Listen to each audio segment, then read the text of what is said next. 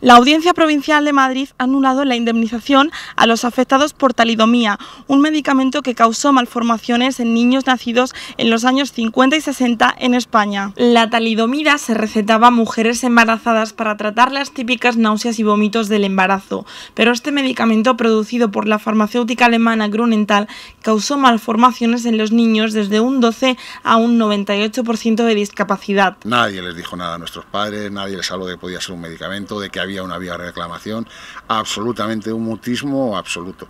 En noviembre de 2013, la juez Susana Fernández impuso a la farmacéutica la condena de pagar 20.000 euros por cada punto de minusvalía a cada uno de los afectados unidos en la asociación Habite. Sin embargo, la Audiencia Provincial de Madrid ha anulado esta indemnización a los afectados por talidomida, aludiendo la prescripción del delito.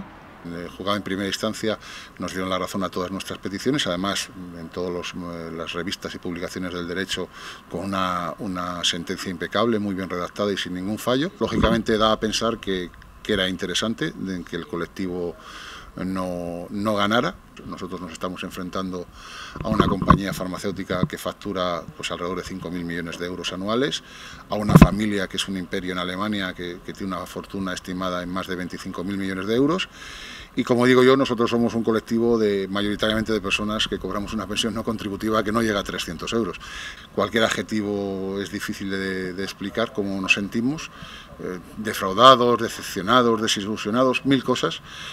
Pero bueno, es al fin y al cabo quizá lo que, lo que merece un país que, siendo del tercer mundo quiere, quiere, quiere aparentar que es del primero. Se han borrado así las ilusiones de más de 500 personas afectadas por la talidomida. La última palabra la tendrá el Tribunal Supremo.